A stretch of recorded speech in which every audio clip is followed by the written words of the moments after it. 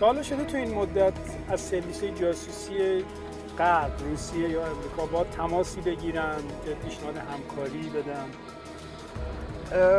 شده. دو سه بار شده. با جلو رفتن تحقیقات دادسرا مشخص می شود ارتباطات زم از بده‌بستان با مواجب بگیران لندن نشین فراتر رفته و وی برای دلارهای آمریکایی در ازای آشوب علیه جان و مال مردم حالا پا در کفش کنگره آمریکا هم. کرده. ساغر کسرایی یکی از وابستگان نزدیک به کنگره آمریکا و از فعالان ضد ایرانی در think tank های آمریکایی و محافل اپوزیسیون برانداز است که مستندات ارتباطاتش با زم در صحن دادگاه رونمایی می شود بیان کردن که ساغر کسرایی منشی بود. در صورتی که خانم کسرایی یک ایرانی آمریکایی برای کنگره آمریکا کار می‌کنم رئیس من کنگرسمنه. بله در مورد یعنی؟ تغییر رژیم ایران به دولت ترامپ کمک می‌کند. حالا سلام. من برای اون کار رسانه‌ای برای وزارت امور خارجه آمریکا آمادم به شرطی که ساپورت امنیتی و مالی داشته باشه.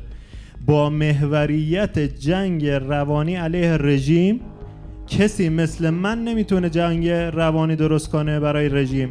اگر حمایت داشته باشم با توجه به اعلام سیاست جدید آمریکا برای آغاز جنگ نرم و سرد آمادم فکر و بررسی کنین به من جواب بدین. ممنون. بله. می‌خوام بهتون این تو مقطعی بوده که من اعتقاد داشتم به براندازی. لطف کنید چت ایشونو با خانم ساغر کسرایی که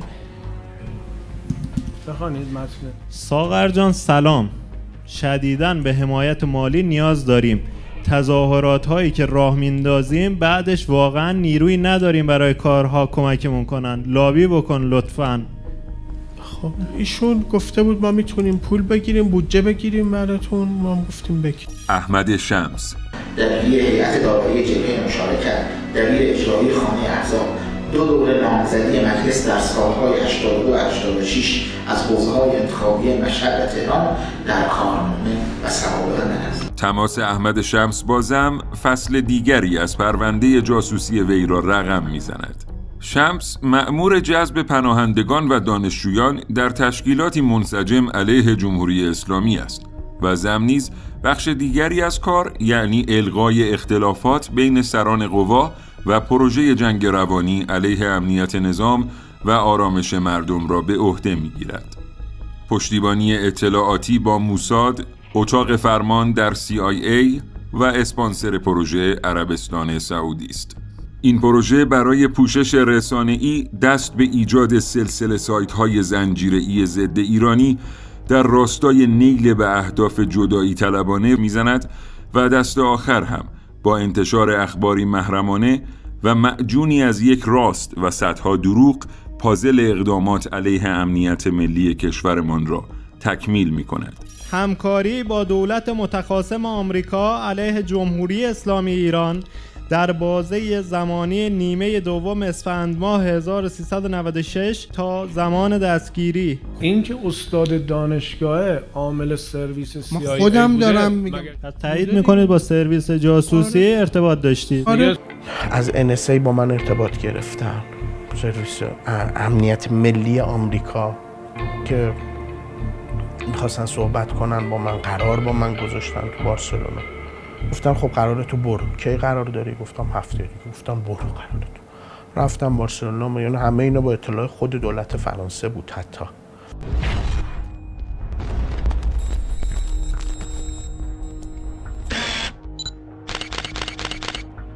آیا یک روزنامه نگار رسالتش حمله موشکی به تأسیسات و مراکز مهم امنیتی ایران است؟ بنده مدیر فنی رسانه ضد انقلاب و ماند آمدیوس اهم همکاری هایی که با آقای روح الله زم انجام دادی بیان بکن.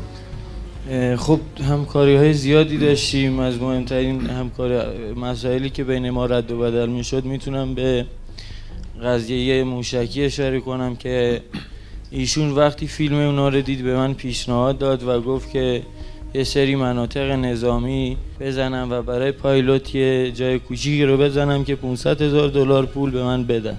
خب. بعد از اون مبلغ دو میلیون دلار بابت هر جایی که خواستم بزنم به هم میدن. پول داره میاد که دولت داره پول میفرسته به حساب. یعنی اما اول که میای یه حساب پسنداز اینجا برات باز می‌کنه.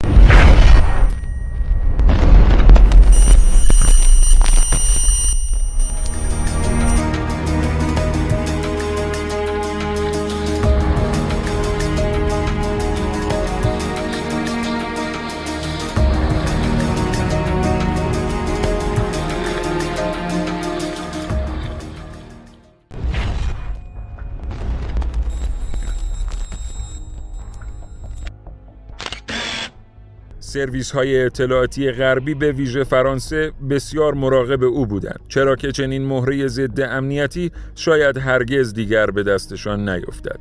شما رو دست کمی گرفتی من رهبر جنبش 96 خود پهلوینا شهبانو اینا همه چیز دارن که میگن این رهبر جنبش دیما کی؟ اینا قبول دارن خودشون.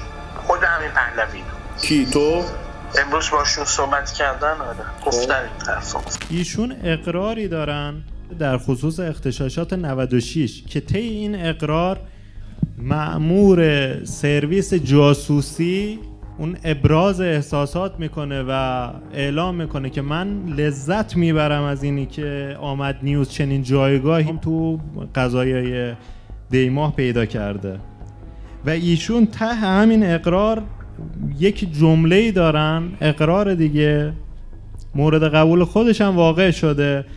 به این صورت این جمله بالاخره برای آنها هم برگ برنده ای بود که رسانه ای که من مدیرش بودم و به من حقوق ماهیانه می‌دادند نقش محوری را دارا شده. من الان زمین بازی رو می‌دونم. هیچ کی تو خارج از کشور زمین بازی رو نمی‌دونه. دونالد ترامپ رئیس جمهوری آمریکا شامگاه جمعه با اشاره به اعتراضهای اخیر در ایران. My hope is that the people who are taking to the streets in Iran know that under President Donald Trump, they are not alone. برای همین امریکا تحریم های گسترده ای علیه ایران وضع می کند. But all, all of those decisions going forward, but I think as you see what's happening on the streets of Iran, you have to believe that the sanctions that are in place today uh, and this and additional pressure that we could bring to bear is having an effect on, on on the nation, it's having an effect on the economy, and it's emboldening the people of Iran You brought up to be North- able to have the courage to start.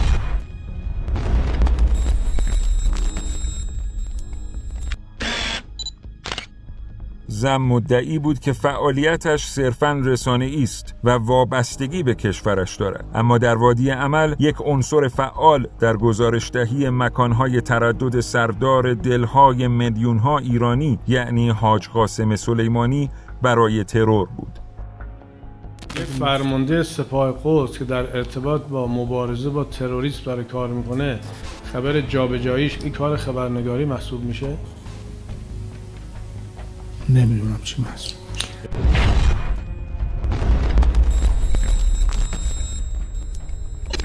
زم دست آخر پس از ماهها اقدامات پیچیده اطلاعاتی، امنیتی و قضایی مجبور به اعتراف به گذشته ننگین خود می شود. گذشته ای که در پیشگاه عدالت هرچه به زوایای آن نگاه می کند دشمن را شاد کرده و در حق دوست و هموطنش خسارات و جنایات جبران ناپذیری را مرتکب شده است. از اواسط سال 97 هرچه که بوده من مقصرم. اگه خواستیم یه موقع رسانه بزنیم اسمشو اگه بذاریم نیامد نیوز برند میشه.